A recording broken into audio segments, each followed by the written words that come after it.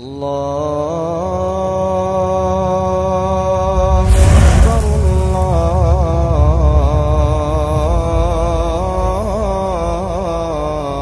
الله أكبر السلام عليكم ورحمة الله وبركاته.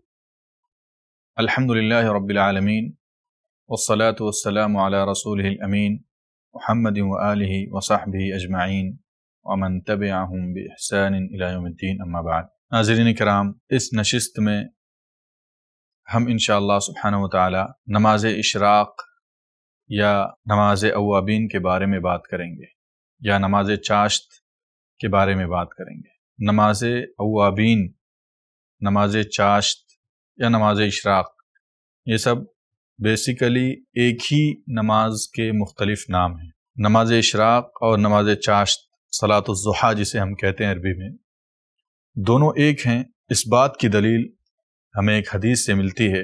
حضرت عبداللہ ابن الحارث، حضرت عبداللہ ابن عباس رضی اللہ تعالیٰ عنہ سے روایت کرتے ہیں۔ یہ حدیث مستدرک حاکم کے اندر امام حاکم نے ذکر کی ہے اور حدیث کی دیگر کتابوں کے اندر بھی حدیث موجود ہے۔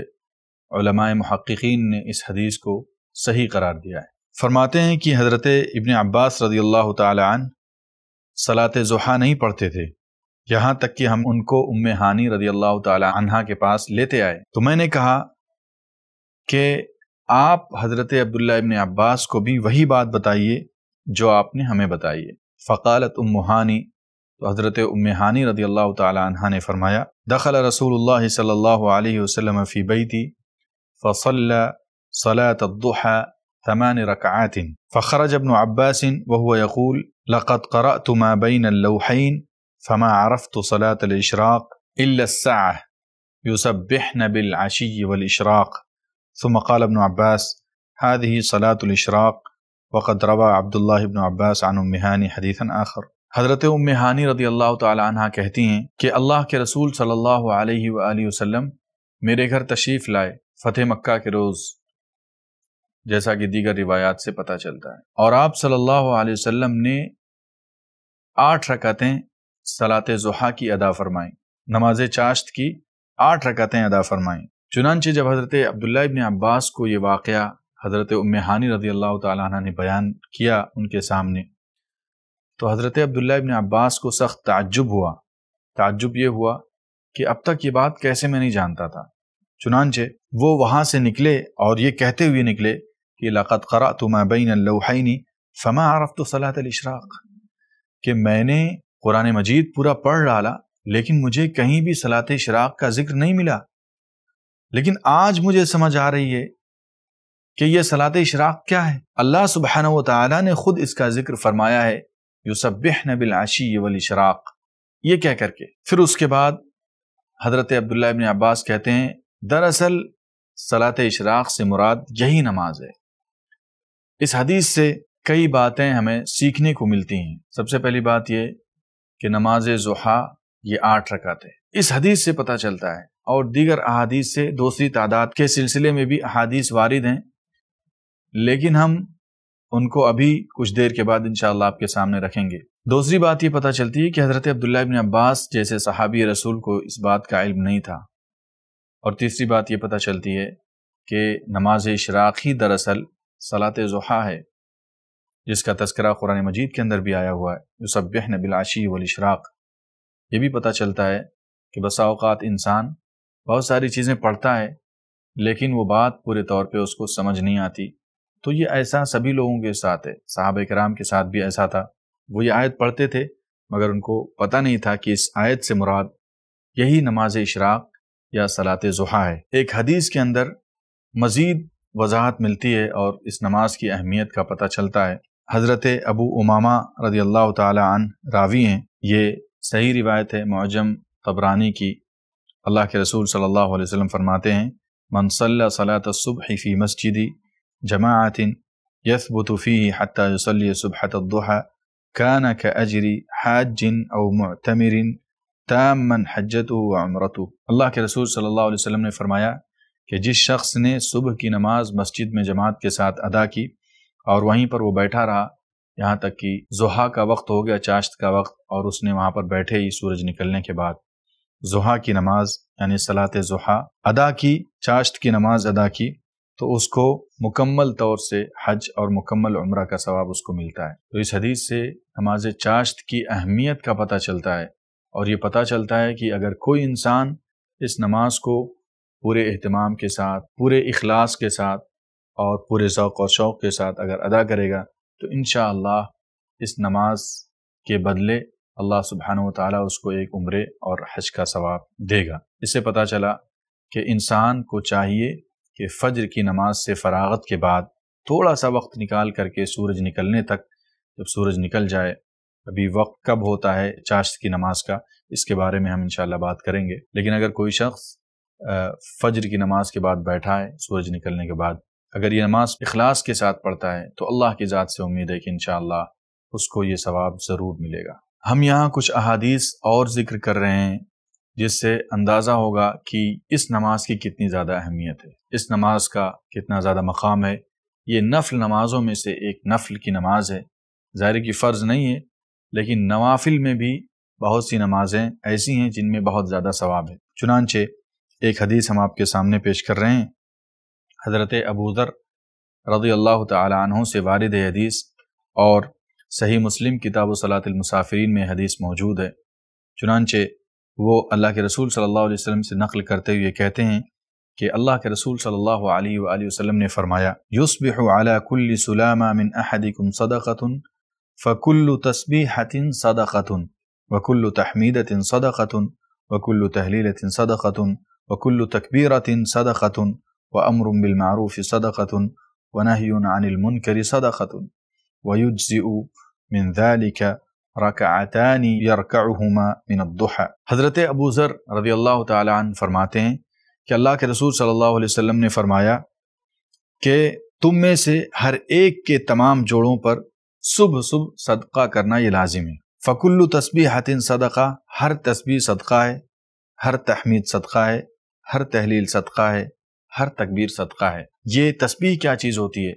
سبحان اللہ کہنا۔ یہ تحمید کیا چیز ہوتی ہے؟ الحمد کہنا۔ یہ تحلیل کیا چیز ہوتی ہے؟ لا الہ الا اللہ کہنا۔ یہ تکبیر کیا چیز ہوتی ہے؟ اللہ اکبر کہنا۔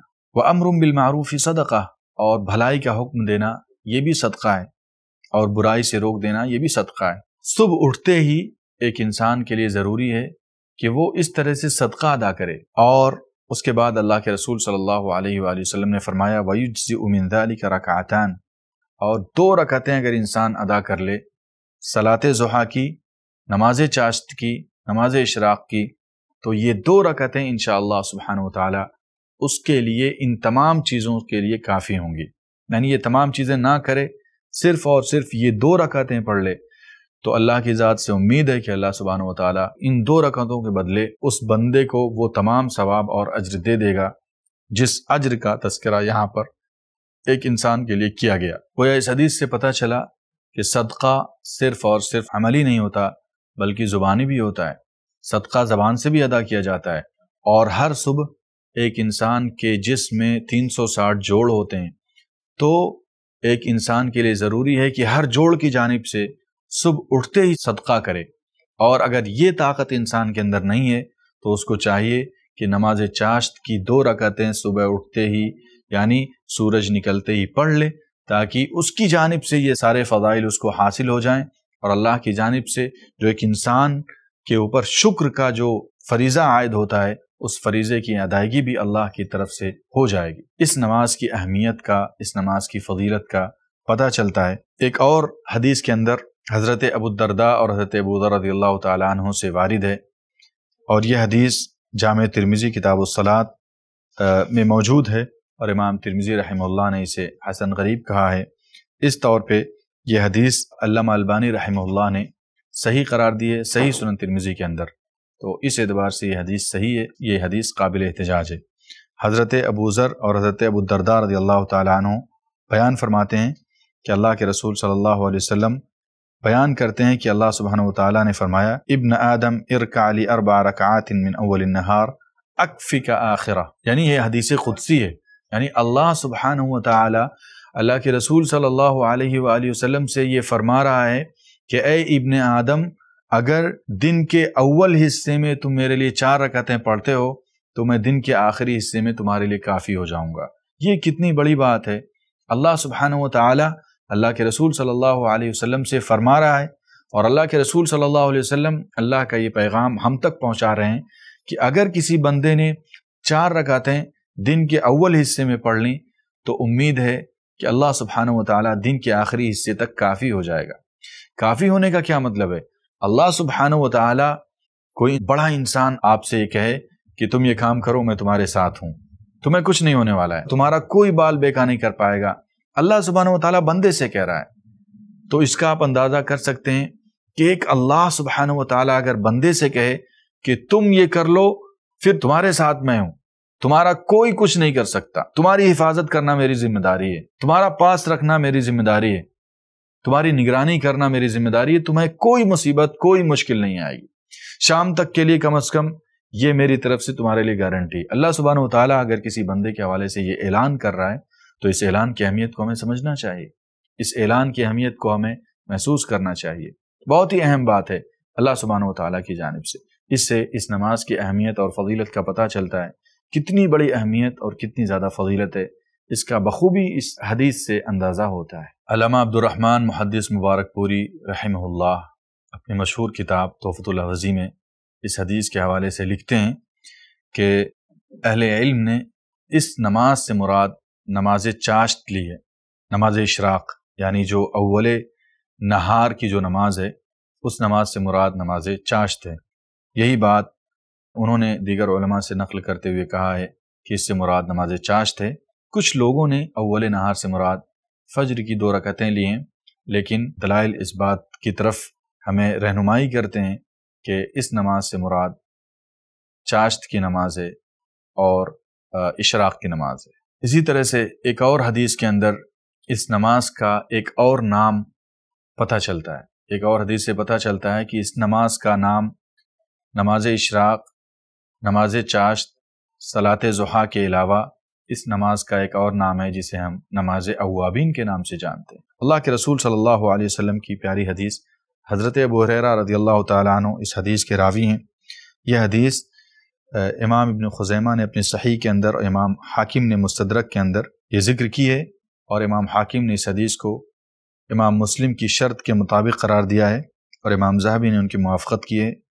امام البانی رحمہ اللہ نے اس حدیث کو حسن قرار دیا ہے۔ حضرت ابو رضی اللہ تعالیٰ عنہ فرماتے ہیں کہ اللہ کے رسول صلی اللہ علیہ وسلم نے فرمایا، لا يحافظ على صلاة الضحى الا اواب وهي صلاة الاوابین اللہ کے رسول صلی اللہ علیہ وآلہ وسلم فرماتے ہیں، نماز ضحا ایک اللہ کا نیک بندہ، بہت زیادہ اللہ سے رجوع کرنے والا، بہت زیادہ اللہ سے توبہ کرنے والا، بہت زیادہ اللہ کا خالص اور نیک بندہ۔ اللہ کا صالح بندہ ہی وہ نماز چاشت ادا کر سکتا ہے۔ ہر بندے کے بس کی بات نہیں یہ۔ تو یہ اللہ کے رسول صلی اللہ علیہ وسلم فرما رہے ہیں کہ ہر بندہ ایسا نہیں کر سکتا۔ وہی بندہ اس نماز کو ادا کر سکتا ہے جو اللہ کا بہت ہی سچا بندہ ہو، بہت ہی نیک بندہ ہو، بہت ہی صالح بندہ ہو۔ اگر ایسا بندہ ہے تو وہ نماز ہی ادا کر سکتا ہے، ہر بندے کے بس کی بات نہیں۔ ہے اور فرمایا کہ وہی صلاۃ الاوابین اور اسی وجہ سے اس کو نماز اوابین بھی کہا جاتا ہے یعنی سلاۃ الاوابین اوابین کی نماز۔ اوابین کا معنی ہوتا ہے اللہ کے بہت نیک بندے، اللہ سے توبہ کرنے والے بندے، اللہ کی طرف رجوع کرنے والے بندے۔ لوٹنے کے معنی میں اللہ کی طرف لوٹ جانے والے بندے، دنیا جہان سے کٹ کر کے اللہ کی طرف مڑ جانے والے، اللہ کی طرف رجوع کرنے والے، اللہ سے جڑنے والوں کو اوابین کہا جاتا ہے۔ تو یہ نماز اگر کوئی پڑھ رہا ہے تو اس کا مطلب یہ ہے کہ وہ واقعتاً اللہ سے محبت کرنے والا ہے۔ واقعتاً اللہ کی طرف رجوع کرنے والا ہے۔ واقعتاً اللہ کی طرف مائل ہونے والا ہے۔ تو اس حدیث سے یہ بھی پتہ چلا کہ اس نماز کا دوسرا نام نماز اوابین بھی ہے۔ گویا کہ کئی نام ہو گئے۔ نماز اوابین، نماز چاشت صلاط اشراق اور نماز ضحیٰ۔ چار نام۔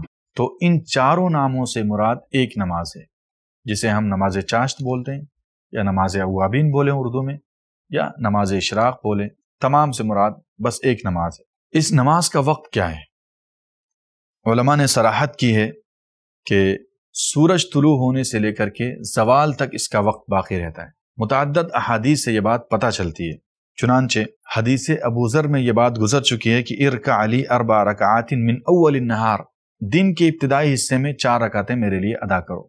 تو اس سے پتہ چلتا ہے کہ نماز چاشت کا وقت دن کے شروع حصے سے شروع ہوتا ہے یعنی سورج کے طلوع ہونے کے بعد شروع ہوتا ہے۔ اسی طریقے سے ایک اور روایت کے اندر حضرت زید ابن ارقم اس حدیث کے راوی ہیں، کہتے ہیں کہ رآ قوما یصلون من الضحى فقال اما علموا ان الصلاة في غير هذه الساعة افضل ان رسول اللہ صلی اللہ علیہ وسلم قال، صلاة الاوابین حین ترمض الفصال. حضرت زید ابن ارقم سے روایت ہے، انہوں نے کچھ لوگوں کو نماز چاشت پڑھتے ہوئے دیکھا تو کہا کہ کیا ان لوگوں کو پتہ نہیں کہ اس وقت کے زیادہ اور دوسرے وقت میں یہ نماز زیادہ افضل ہے؟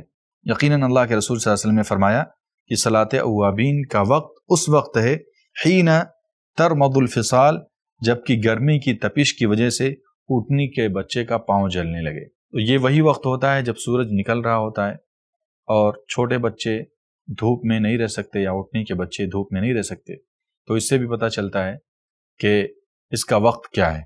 تو اس کا وقت سورج طلوع ہونے سے لے کر کے نماز ظہر سے پہلے تک اس کا وقت باقی رہتا ہے۔ اس سلسلے میں کچھ اور باتیں ہم عرض کرنا چاہتے ہیں۔ ان کا تعلق نماز چاشت کی رکعتوں سے، کتنی رکعتیں پڑھی جائیں گی؟ کچھ کا تذکرہ اس سے پہلے کہ حادیث میں آیا یعنی آٹھ رکعتیں، چار رکعتیں، دو رکعتوں کا بھی تذکرہ آیا۔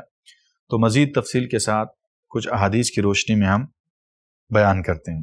ظاہر ہے کہ دو رکعتوں کی دلیل وہی حدیث ہے جو اس سے پہلے گزر چکی ہے، حضرت ابو ذر رضی اللہ تعالی عنہ والی جس کے اندر یہ ذکر ہے کہ یجزئ من ذلك رکعتان یرکعہما من الضحى یہ صحیح مسلم کی حدیث ہے یعنی دو رکعتیں بندے کے لیے کافی ہوں گی ان تمام اعمال کے لیے جو اعمال انسان سو کر کے اٹھنے کے بعد صدقے کے لیے کرتا ہے۔ تو یہ نماز چاشت کا وقت ہے۔ چنانچہ اس حدیث سے پتہ چلا، حدیث ابوذر سے نماز چاشت یہ دو رکعت ہے۔ اگر کوئی بندہ نماز فجر سے فراغت کے بعد سورج کے طلوع ہونے کا انتظار کرے، اس کے بعد پھر یہ دو رکعتیں پڑھ لے، تو انشاءاللہ اس کو دن بھر کسی بھی طرح کی مصیبت، کسی بھی طرح کی مشکل، کسی بھی طرح کا کوئی حادثہ نہیں ہوگا، یہ اللہ کے رسول صلی اللہ علیہ وسلم کا وعدہ ہے۔ اسی طرح سے چار رکعت کی دلیل بھی وہی حدیث ہے جو اس سے پہلے ہم نے ذکر کی، حضرت ابو الدرداء اور حضرت ابو ذر رضی اللہ تعالیٰ عنہ والی حدیث۔ اس کے اندر الفاظ یہ ہیں ارکا علی اربع رکعات من اول النہار، اکفک آخرہ، کہ میرے لیے تم دن کے ابتدائی حصے میں چار رکعتیں پڑھو، میں انشاءاللہ دن کے آخری حصے تک اس کے لیے میں کافی ہو جاؤں گا۔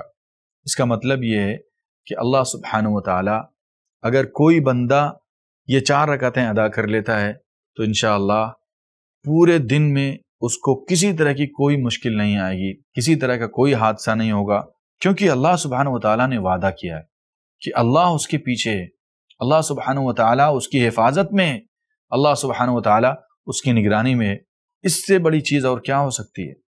لہذا ہمیں ان دو رکعتوں کا یا چار رکعتوں کا خاص طور سے اہتمام کرنا چاہیے۔ اسی طرح سے نماز ضحیٰ چھ رکعتیں بھی انسان پڑھ سکتا ہے۔ علامہ البانی نے ارواء الغلیل کے اندر اور سنن ترمیزی کے اندر بھی اس حدیث کو صحیح قرار دیا ہے۔ اللہ کے رسول صلی اللہ علیہ وسلم کان یوسلی الضحى ست رکعات اللہ کے رسول صلی اللہ علیہ وسلم نماز ضحیٰ چھ رکعتیں بھی پڑھتے تھے۔ تو چھ رکعتوں کا ثبوت بھی صحیح احادیث سے ملتا ہے۔ تو اگر کوئی بندہ چھ رکعتیں پڑھ سکتا ہے، تو چھ رکعتیں بھی اس کو پڑھنا چاہیے۔ اسی طریقے سے آٹھ رکعتوں کا بھی ثبوت ملتا ہے۔ جیسا کہ شروع میں میں نے آپ کے سامنے اشارہ کیا کہ اللہ کے رسول حضرت امہانی والی حدیث میں لما کان عام الفتح، ثم اخذ ثوبه فالتحف به ثم صلى ثمان رکعات صبحة الضحى۔ کہ اللہ کے رسول صلی اللہ علیہ وسلم فتح مکہ کے دن امہانی رضی اللہ تعالی عنہ کے گھر تشریف لائے اور انہوں نے آٹھ رکعتیں پڑھیں۔ حضرت امہانی رضی اللہ تعالی عنہ کے گھر پہ اللہ کے رسول صلی اللہ علیہ وسلم نے نماز ضحیٰ، نماز چاشت آٹھ رکعتیں پڑھیں، جس سے اندازہ ہوتا ہے کہ نماز چاشت آٹھ رکعتیں بھی پڑھی جا سکتی ہے تو اس سے پتہ چلا کہ نماز چاشت، نماز ضحیٰ، نماز اوابین، نماز اشراق، یہ سب ایک نمازیں ہیں۔ ان نمازوں کو آپ دو رکعتیں بھی پڑھ سکتے ہیں، چار رکعتیں بھی پڑھ سکتے ہیں، چھ رکعتیں بھی پڑھ سکتے ہیں۔ آٹھ رکعتیں بھی پڑھ سکتے ہیں۔ ان احادیث سے نماز ضحا کی فضیلت، نماز چاشت کی فضیلت کا بھی اندازہ ہوتا ہے اور یہ نماز کتنی رکعتیں پڑھی جائیں گی، اس کا بھی ان حدیثوں سے اندازہ ہوتا ہے۔ اخیر میں اللہ سبحانہ و تعالیٰ سے دعا کرتے ہیں کہ اللہ ہمیں سنن و نوافل کو اسی طریقے سے ادا کرنے کی توفیق عطا فرمائے جیسے اللہ کے رسول صلی اللہ علیہ وسلم سے ثابت ہیں۔ اگر اس کے مختلف طریقے ہیں تو زندگی میں ان کو مختلف طریقوں سے ادا کرنے کی توفیق ادا فرمائے۔ السلام علیکم ورحمۃ اللہ وبرکاتہ۔ ایسے ہی اور ویڈیوز بنانے میں ہماری مدد کریں۔